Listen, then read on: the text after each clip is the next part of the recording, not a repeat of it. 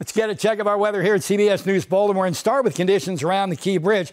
We did have heavy morning rain. Tomorrow, more rain and thunderstorms in the forecast. More rain and wind in the forecast, maybe strong storms on Wednesday.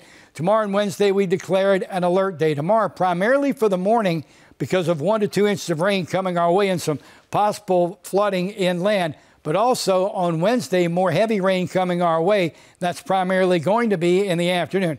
Current SATRAD shows the morning rain, all that energy, pretty much all off to the east, maybe just a couple scattered showers coming in later. But look, you can see more rain, more energy, if you will, over the, uh, the uh, Tennessee Valley and the western Ohio Valley. Here's the future cast. Now I want to go ahead and run it up to about 1.30 in the morning when the heavy rain that's going to affect our commute tomorrow morning starts to wash across the state.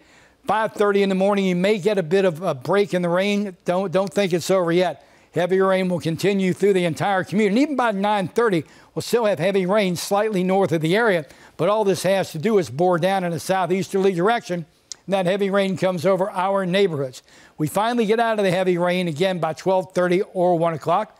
That's why we think we'll get that baseball game against the Royals in tomorrow night. But I want you to watch what happens when we get to noontime on Wednesday. Look at this strong line of storms starting to form.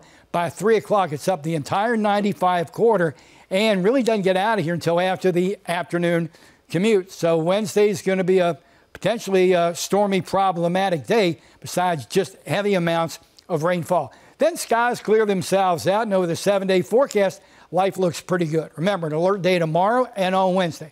53 today, 54 tomorrow and Wednesday. 52 Thursday, your average daytime high, by the way, 61. Average overnight low, 43. We don't even get to 61 or even near 40 day and night side until we get to Sunday. But Thursday afternoon, at least the sun's going to come out and stay out. You're watching CBS News, Baltimore.